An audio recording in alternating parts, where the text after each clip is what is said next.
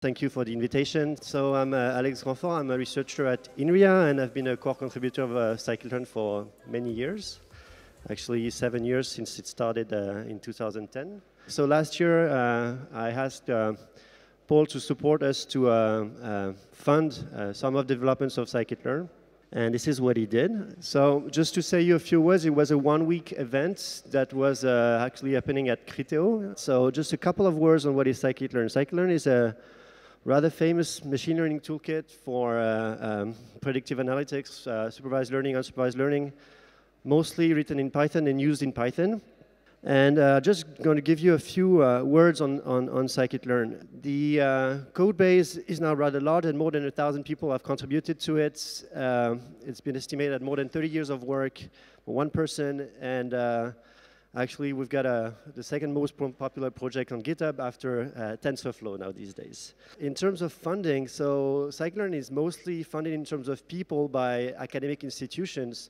First of all, the INRIA, uh, where I work now, Telecom Paris in France, and um, also abroad, uh, mostly now these days in Sydney. There's a, one of our more active contributors was there, and then there's the Moore Sloan Foundation who funded uh, Andy Mueller at NYU, and now moved to Columbia. So these are the uh, centers uh, that are funding the actual people being paid full-time to work on scikit-learn. And then we have also some uh, support from uh, private money uh, companies that give us a bit of money to organize some events and to, to pay for short-term contracts like Google, Criteo during the sprints, and France is AI, which funded the sprint of last year. So the impact of scikit-learn is now quite massive. So it is just the, the, companies that have accepted to testify that they're actually using in their business scikit-learn. Scikit-learn has come as a BSD license, which means that they can, can be used for commercial uh, uh, purposes, and that was actually a big factor of the success of, of the project uh, over the years. In terms of numbers, uh, now people ask this for uh, uh, hiring people. That's a mandatory skill. And if you look at the web stats, we have uh, about 400,000 re uh, returning users on the scikit-learn website. So we evaluate that almost half a million people are using scikit-learn uh, on a regular basis, at least for a, a, period of their, of their time.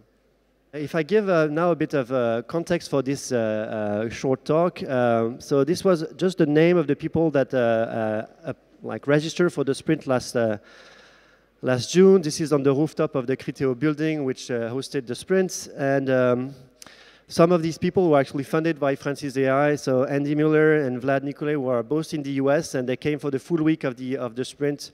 So you lock people in one room from 9 to 6 p.m., and you ask them to code as much as they can and to enjoy this for an entire week and free the schedule. If you look at terms of achievement, I could list all the merge PRs or pull requests of the week, but basically the, the big impact of this sprint, and I mean, it's also longer event, uh, is the uh, release that was done uh, in August uh, this summer. So this is just a, a, a, snap, a, snapshot I took from the release page where you list all the achievement, the new estimators, the new models that are being uh, uh, shipped with this release. And if I want to summarize basically what's the vision and still the vision of scikit-learn these days is to bring state-of-the-art algorithms and machine learning to the masses and to uh, reach as many people as possible. People start using scikit-learn, they see that it's, uh, they can achieve things in a, in, a, in bigger context and, and then that contributes to dem democratizing what is AI and machine learning these days. The project of scikit-learn is a rather mature project, more than seven years uh, of uh, actual work since it started at INRIA. Uh, and I think there's a lot of effort that are still undone on, on speed, usability, and also scaling some of the estimators with online methods. So I invite you to go to this webpage where you see the release notes and you can see all the details that I, I cannot list in five minutes. And uh, I guess I would like to, to thank uh, everyone and uh, thanks for France is AI for supporting us. Thank you very much.